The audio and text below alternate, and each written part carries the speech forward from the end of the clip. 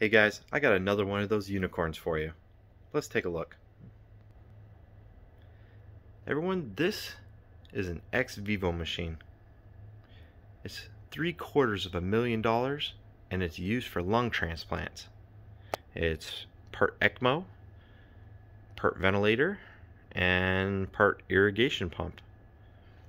You can see that there's a trough down here at this end there's a acrylic globe that'll sit on top of there and inside it is the lungs that are needing to be transplanted. So you have an ECMO which cleans the blood and circulates it in and around the lung tissue.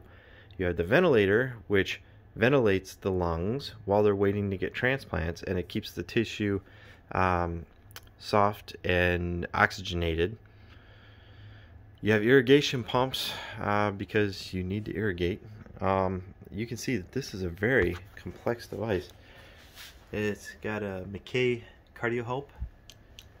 It's got a Hamilton C2 ventilator. You can see that the ventilation tubes come over here to the side where they're going to run up to the lungs and actually physically attach attach to the lungs themselves and uh, like I said there's normally an acrylic globe. This is a very very rare machine. And it's also incredibly expensive.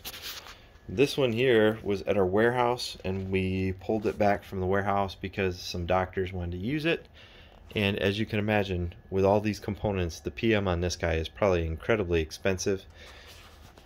But it's one of those machines that only does its job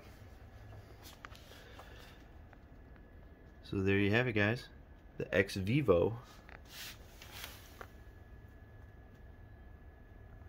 Yeah, it's got a variotherm in there. How cool is that? Incredibly rare. You can see the ventilator that's kind of nestled up in there.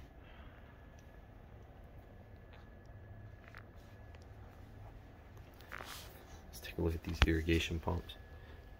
I like how they got the pump head shrouded to protect them. This is actually the back of that ECMO machine, the CardioHelp.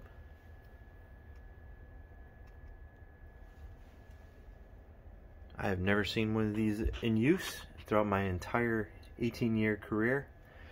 But maybe, maybe I'll get the chance to see one. Alright guys, I just wanted to go over that real quick because here it is sitting in my shop and this is one of those things that you just do not see so I hope you enjoy. Thanks for watching.